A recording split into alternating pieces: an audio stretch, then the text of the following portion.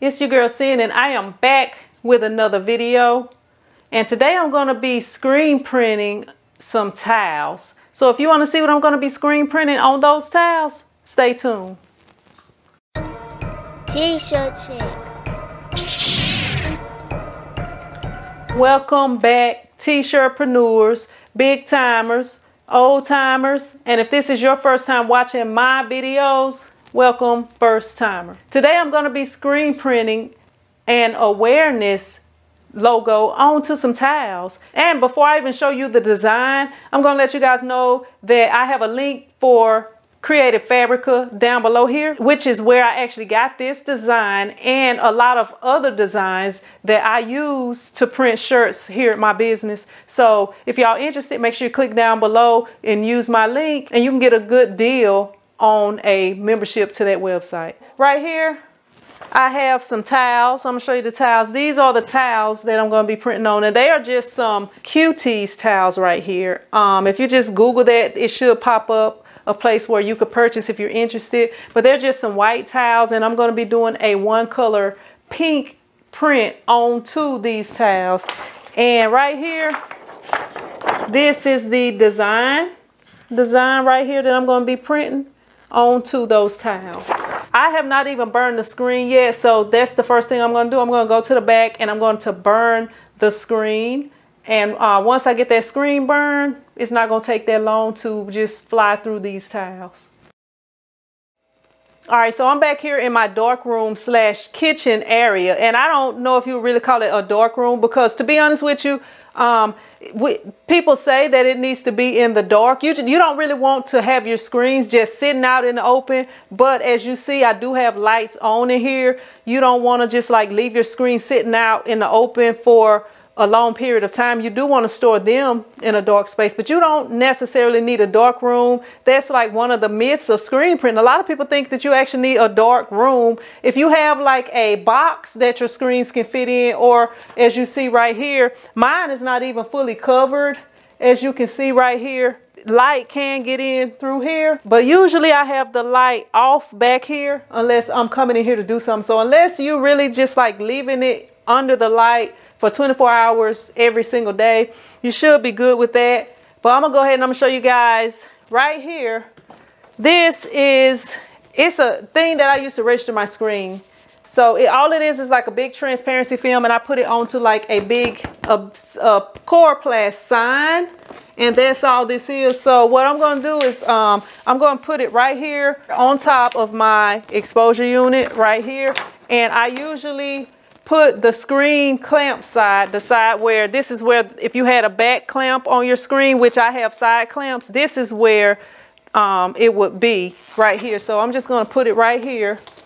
I need for my image to be, this is a 20 by 24 inch screen right here.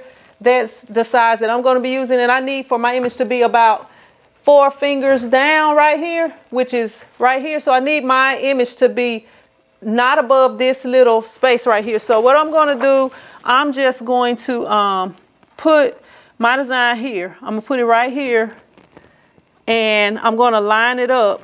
But even before I do that, I'm going to put tape on all four sides of it so that I can place my screen down on top of it.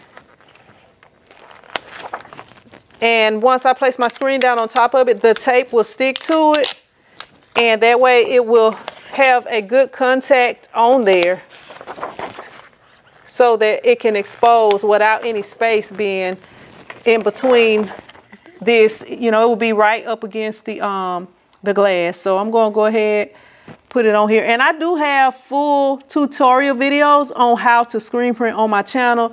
And i sometimes offer classes. So if you guys are interested make sure that you leave a comment and i can um, try to help you better so right here is where I keep my screens. I'm just gonna grab one out of here. Actually, let me see what. That's a 160. I'm gonna see if I have a 110 mesh. If I have a 110, I'm gonna go with that. But if not, then I'm gonna go with this 160. Okay, all of these are 160 and 180. So right here. So that's 160. And I have a video that explains what a 160 mesh screen is and all the different sizes that I use and when you should use them or why you should use them. So I'm gonna go ahead right here. I'm going to um, place my screen down, lining it up with the edge of where it says the screen for my size, which is the 20 by 24. Gonna go ahead, line it up there and lay it flat. All right, that's that'll be enough room. I really could have came down a little bit more. So now I'm just gonna, uh, I don't know. I think I should have came down a little bit more on that, but I'm gonna go. I'm gonna just go ahead and go with like that. I'm, now I'm just making sure that the tape is sticking. All right, so now that I have um, made sure that the tape is sealed all around, that it's stuck to it all around, I can pick it up.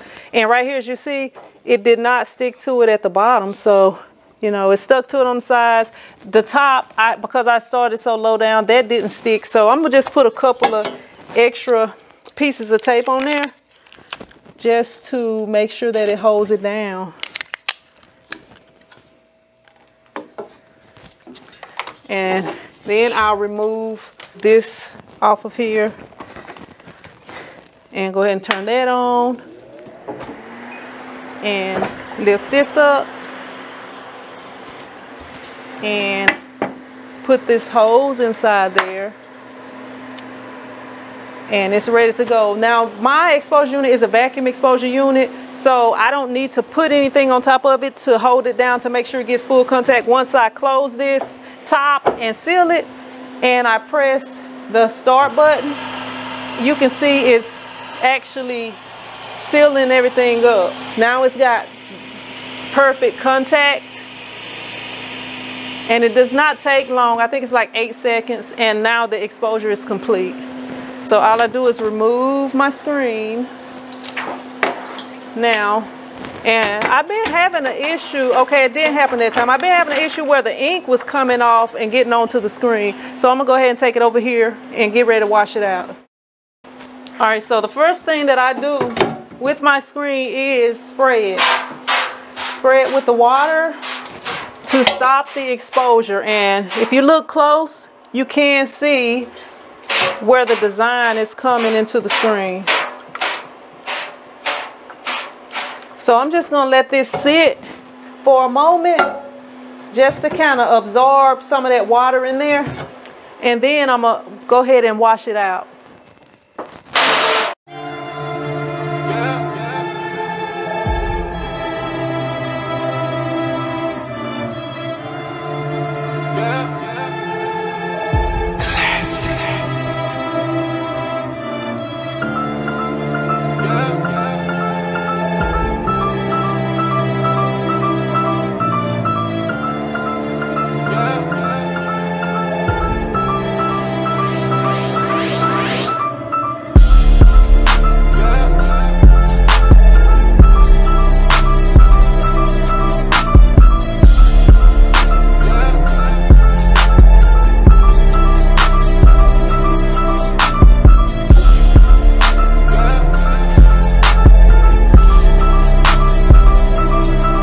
That's what it's looking like.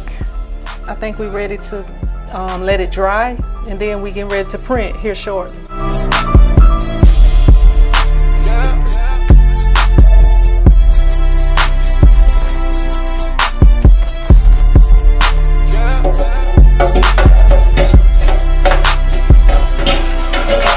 And now I just turn on the fan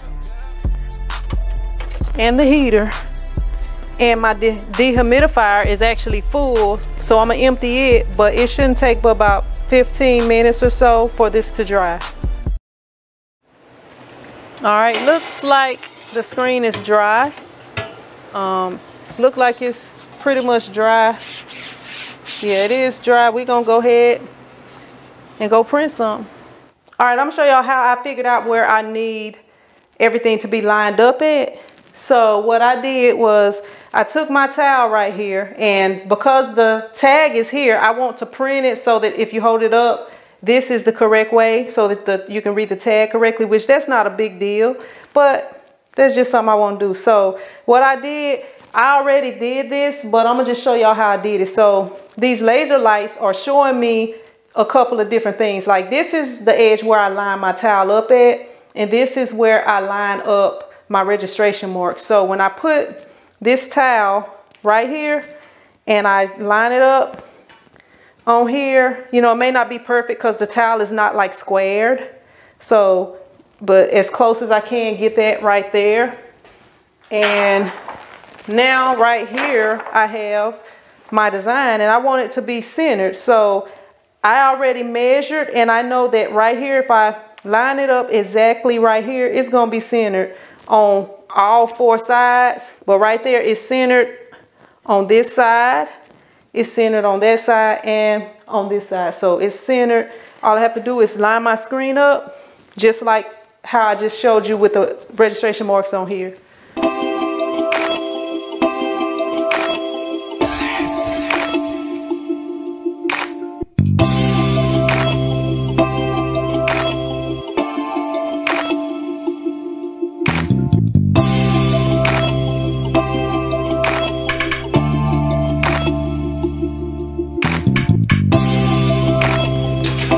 Right, so now I'm just gonna tape up my registration marks.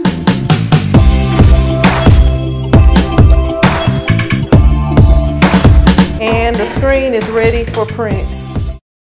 All right, so over here, I have the pink inks that I have, and I actually have two different pinks, and I have this lighter pink, which is an international coatings, I believe. Um, no, this is actually Ryopaque, Ryopaque. And I've had this like since I started pretty much. This is one of the first ones. Right there, you can see Ryopaque. I don't even know if they still have Ryopaque. And right here, this is Union Ink. This is their, what is it? Neon Pink. That's their Neon Pink right there. So we're gonna be using the Neon Pink. Um, I don't know, I probably do have enough of this one, but I don't wanna take the chance because I don't have that many tiles to print. I just wanna go ahead and knock them out. So I'm gonna go ahead, I'm gonna use this neon pink right here. I didn't even record me putting the ink on the screen. I thought I did, but it's on there now. It is on there. So I'm gonna go ahead, I'm gonna use, let me make sure it works. I'm gonna use this squeegee right here because these squeegees, you just get a lot better print using those squeegees. All right, so I'm gonna go ahead, set this thing up right here so that I can do a test print on my test pellet. So just gonna flood the screen.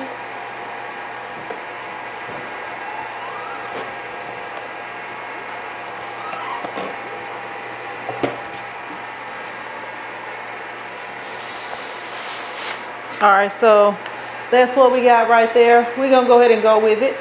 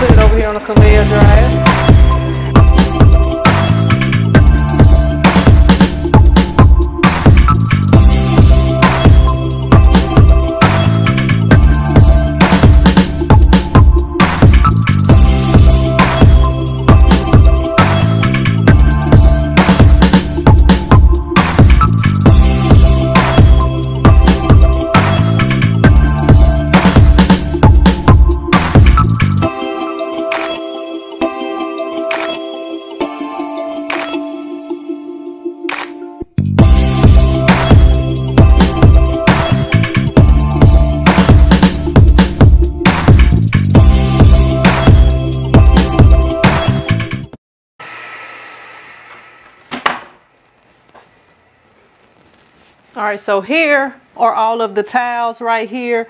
Finished, eight tiles printed. This is the rest of the order right here. Um, the shirts, I printed these shirts on the live stream earlier today. I'll leave that link right up here for y'all. I'm gonna go ahead and I'm gonna bag these towels up and put them in here with the rest of everything.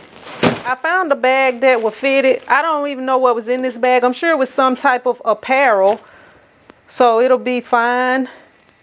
But I'm just gonna um, make sure that I have them all, the tags and everything all stuck down. Have a, make sure that it's pretty flat and slide it in the bag.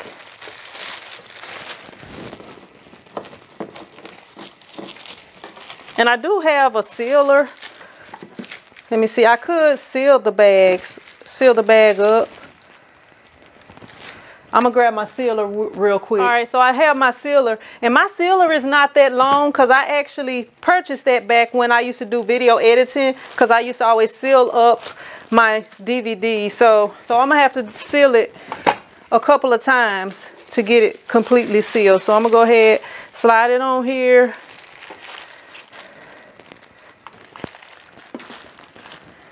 Go ahead, seal it. All right. I'm gonna turn it this other way. And I tell you what, because the towels are not that long, I'm gonna, seal the end off right here. That way I don't have so much to seal.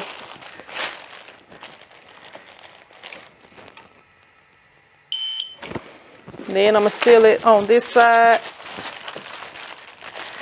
And I'm doing this just, I mean, you don't really have to do this, but this just, you know, makes stuff more professional. All right. So now all I have to do is seal this part right here. Actually, I'm gonna go ahead and grab my scissors and cut that off. So I'm gonna go ahead and cut this part off because that's what you would do when you seal it. You just cut the excess off and that way it'll be easier for me to seal the remaining part right there and trying to make sure that it's on that same line with that. All right, so now I'm just gonna cut the excess off of this top part.